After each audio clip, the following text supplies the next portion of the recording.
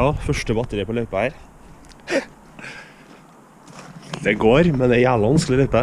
Jeg har ikke så bra videosignal. Jeg tror, jeg tror faktisk at når det er fuktig og regn ute, så er det dårlig videosignal. Jeg har på 200 milliwatt nå, og jeg sitter jo Der sitter jeg.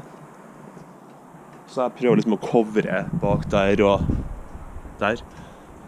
Kunne ha sittet litt mer ut her, men eh, det er vanskelig. Vanskelig.